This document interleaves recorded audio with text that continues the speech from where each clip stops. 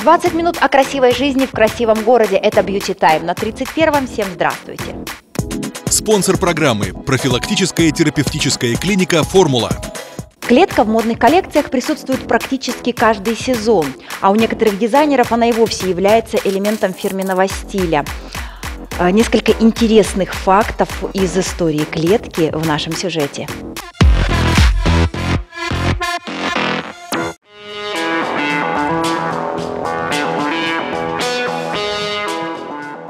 Клетка – это всегда характер. Это то, что делает образ человека более выразительным. В моде прошлых лет клетку часто связывали с деловым костюмом. Сегодня диапазон дизайнерских идей с ее участием простирается от стрит-стайла до вечерней моды. Клетка всегда вдохновляла дизайнеров. В этом сезоне клетка совершенно разнообразная. То есть это может быть гленчик, там, где сочетается два контрастных цвета. Клетка – шахматная доска. Это а, контраст. Клетка блокчек – это пересечение черно-белых линий на очень красивом фоне. Клетка пьедепюль. Здесь идет игра направлений клетки, поэтому он смотрится очень современно. Клетка баффало чек. Яркая, крупная клетка а, в модном силуэте будет идеально смотреться. Это букле, созданное переплетением фасонных нитей, ленты тесьмы. Она очень красивая, ее хочется разглядывать, потому что фактура просто потрясающая. Родиной многих разновидностей клетки считается Шотландия, и вся клетчатая мода в основном связана с английской культурой.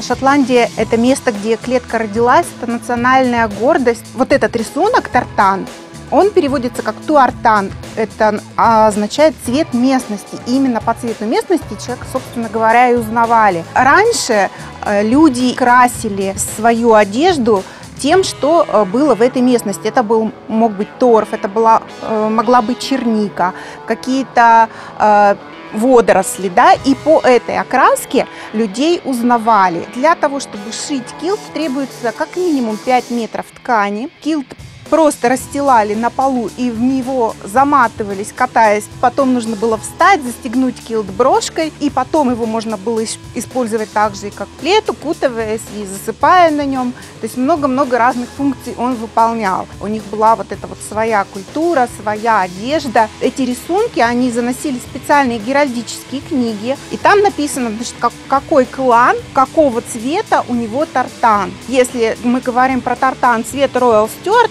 то это красный королевский тартан. Его все узнают. Это тартан э, клана Стюартов, того королевского клана, который занимал шотландский престол.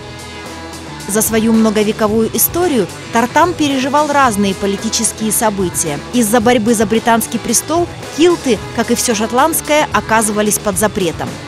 Чтобы запретить полностью все поползновения, запретили и тартаны, как национальную одежду шотландцев, и запретили гельский язык, потому что шотландцы говорят на гельском. Исторически их сохранилось 11 штук вот после того, как их изничтожили, а потом, когда их стали уже возрождать, стали придумывать новые. Их возрождали и смотрели куски ткани, которые остались у портных, потому что это был запрещенный материал, это была запрещенная материя. В 1822 году, когда Георг IV а, прибыл в Эдинбург и сказал, что давайте, пусть каждый имеет свой тартан, пусть каждый носит свой тартан. Это стало модным веянием, и многие английские семьи захотели также иметь себе тартан. Что касается принцессы Дианы, то наш производитель Лох Корона в Скотланд а, вот как раз для нее разработал голубой тартан, зарегистрировал его. И сейчас серия аксессуаров тканей в том числе а, производится а, под именем, под брендом тартан принцессы Дианы.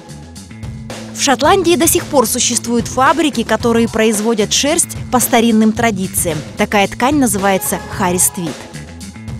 Есть очень много сейчас традиций сохранившихся, а, когда на острова, гибридских шотландских островах продолжают ручное производство твидов, тартанов. Это единственная ткань, которая охраняется королевой Великобритании и на которой на каждые 50 метров ставится печать, что это Харрис Твид. У многих современников клетка ассоциируется с борьбой за независимость и бунтарским духом. Не случайно клетка появилась в качестве официального элемента моды панк, а также стала частью субкультуры тедди-бой – молодых людей из рабочего класса, которые подражали людям из высшего общества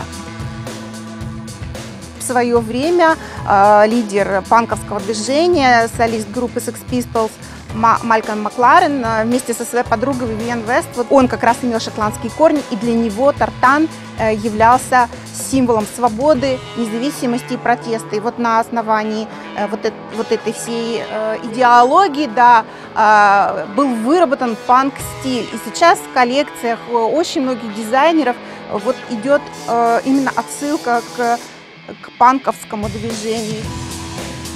Дизайнерский проект Must Have, который проводит Дом ткани Тисура, в минувшем месяце был посвящен клетке. Участникам предложили представить на суд подписчиков Тисура Урал модели юбок.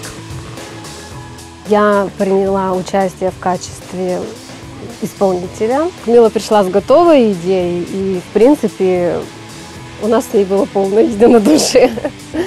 Чувства такие, когда работаешь с такой тканью, просто ну, восторг, я не знаю очень положительные эмоции, но одно удовольствие работать с такими материалами. То есть я прям получаю от этого ну, моральное удовлетворение. В целом шорт-лист финалистов выглядит так –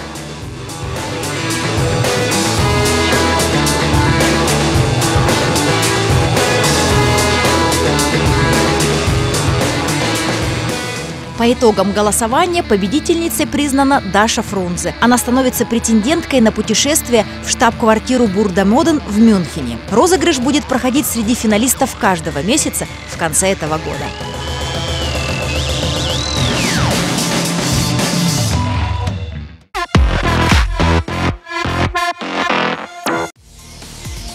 Cool-лифтинг – это мезотерапия без уколов, плюс гидротерапия, карбокситерапия и криотерапия. Работает в глубоких слоях кожи, увлажняет, способствует разглаживанию морщин и выравниванию тона на поверхности. Методику кул-лифтинг оценили столичные звезды. Ощущение, что я выспалась на облаке, такое легкое, такое приятное, прохладное прикосновение. Это прекрасная альтернатива уколам и инъекциям. И это действительно оружие красоты.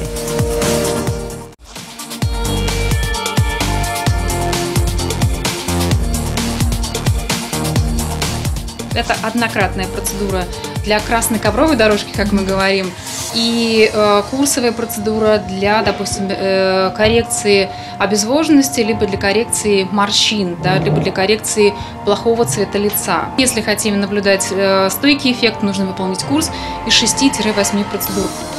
Инновационная методика куллифтинг появилась и в Челябинске. Она представлена в имидж-студии Елены Ивановой.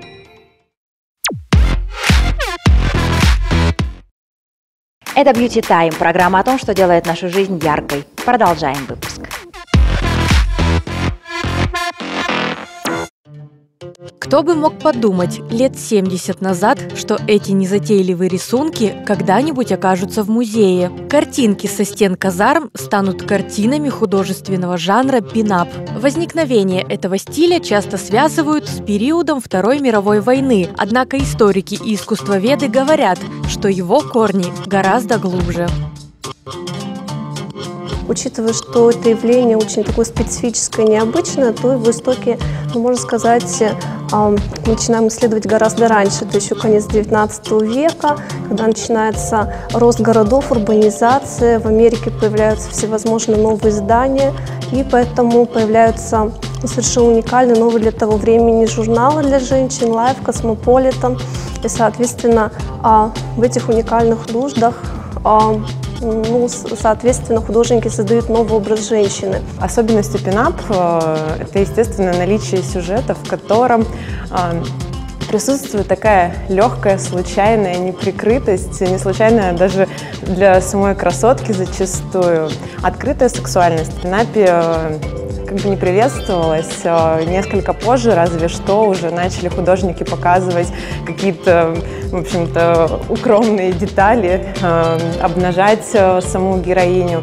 Но так вообще это всегда должна была быть какая-то вот такая вот легкая, интересная сюжетная линия, которая по позволяла зрителю самому домыслить, в общем-то, дофантазировать, что же там скрывают наряды героини. В момент так и появляется пинап, и, конечно, это прежде всего вот такие вот действительно прекрасные, уникальные женские образы, которые художники могли видеть и вокруг себя. Это чаще всего в качестве моделей были и жены, и сестры, какие-то знакомые этих художников и мастеров. У многих из них было и профессиональное, в том числе, образование. Пухлые губы, тонкая талия и широкие бедра пришлись по нраву молодым мужчинам. Прообразом девушки американской мечты стала подруга художника Чарльза Гибсона. Именно его рисунки первыми обрели популярность. Именно его женщины стали основоположницами этого стиля, хоть они и э, имели достаточно британские взгляды, но в них в их образах присутствовала все-таки вот эта вот невероятная привлекательность и сексуальность и а, в общем-то, только чуть позже э, женщины уже начали заявлять более открыто о своей сексуальности. Новый образ прекрасной девушки, а, американской, соответствующей американской мечте, поэтому внешне должна была быть идеальной, стройной, прекрасной, очень красивой. И можно сказать, что, в принципе, фотография в этот момент как бы немножко отходит на второй план так как в иллюстрации, ну, всего этого идеала, этой красоты достичь было ну, гораздо легче.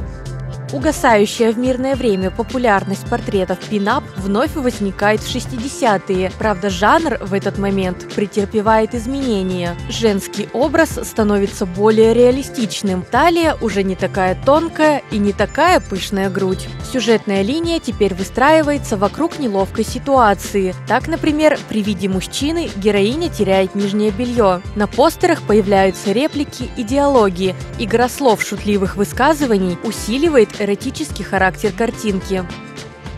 Сам вот этот вот прекрасный образ девушки, он казался слишком идеальным. Многие девушки, наоборот, пытались соответствовать ему, там, а, чрезмерно пытались похудеть, то есть быть такими же идеальными, прекрасными. Поэтому в какой-то период пинап немножко переходит на другой а, этап, и, соответственно, появляются более такие комические, ироничные сценки, где уже фигуры становятся немножко иными, другими, соответственно.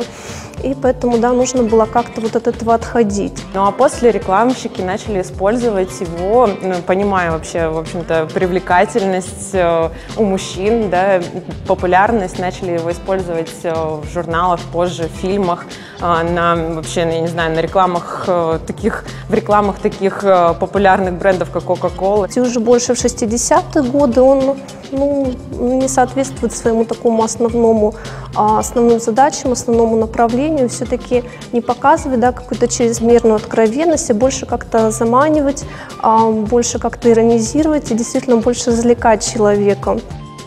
Был пинап и в Советском Союзе, а поскольку секса в той стране официально не было, на плакатах изображали отличницу, спортсменку, комсомолку. Две идеологии в своих работах совместил художник Валерий Барыкин. Жанр советский пинап с успехом отражал социалистическую действительность.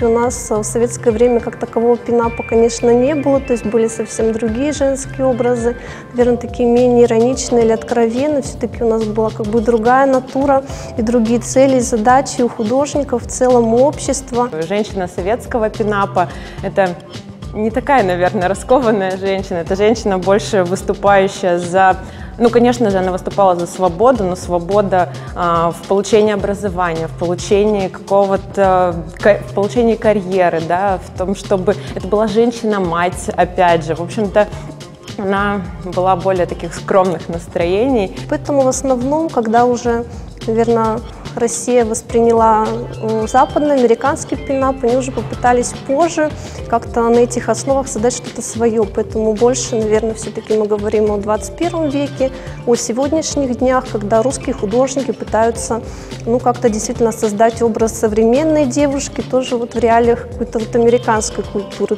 Еще одно знаковое имя в жанре пинап – это имя художника Джорджа Петти. Именно его работы активно начали публиковать глянцевые журналы. Художник Джилл Элфгрен работал в жанре пинап для знаменитой рекламной кампании Coca-Cola. Своими оригинальными сюжетными линиями стал широко известен художник Арт Фрам. Пинап-девушку размера плюс впервые изображает Дуэйн Байерс – художников на самом деле большое количество, и э, художники пинап на самом деле э, исключительно занимались пинапом и получали за это прекрасные гонорары, в общем-то. Если говорить конкретно о классическом пинапе 30-х, 50-х годах, то это, конечно же, а, художник Варгас, да, которого можем здесь видеть, Джилл Элфгрен, работы которые как раз у нас здесь представлены. А поэтому вот в основном, да, они работали в таком узкоспециализированном жанре, они именно только этим и занимались. Ну и сейчас как бы есть такие художники, которые тоже себя всецело посвящают пинапу, ну, конечно, гораздо меньше уже. Я пробовала себя в различных иллюстрациях, но а, как таковой пинап не стал моим а, главным, моим главным стилем, но, опять же, настроение пинапа да, то есть его идея, она, безусловно, прослеживается в моих картинах. Насколько вы знаете, я пишу любовь, и там, в общем-то, без откровенных деталей зачастую никуда. В наши дни стилем пинап вдохновляются модельеры, фотографы, дизайнеры интерьеров и рекламные креаторы. И несмотря на то, что стилизация пинап отличается от оригинала, характер этого легкого жанра востребован и всегда узнаваем.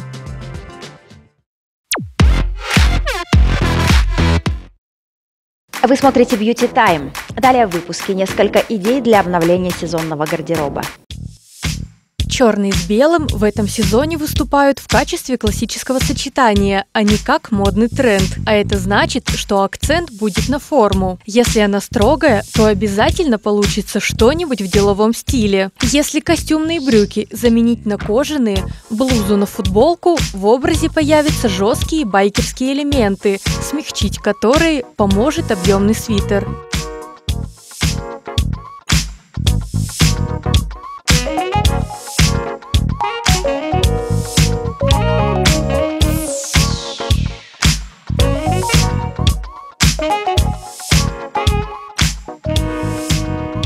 Но вернемся к деловому стилю. Его атрибутом по-прежнему является белая рубашка. Придать образу современное звучание помогут спортивные элементы. Так, например, юбку из мягкого трикотажа дизайнеры декорировали лампасом. Все вместе это смотрится и строго, и торжественно, и динамично, и вместе с тем женственно. А чтобы стиль casual не выглядел уж слишком обыденно, джинсы с футболкой можно заменить на юбку и топ с длинным рукавом, который стилисты чаще называют лонгслив.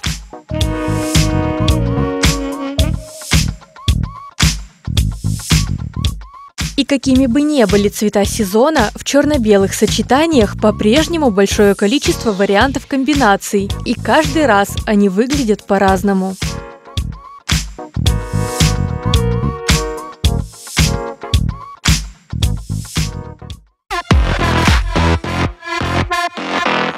Уникальное украшение только из натуральных камней. Регулярное обновление ассортимента.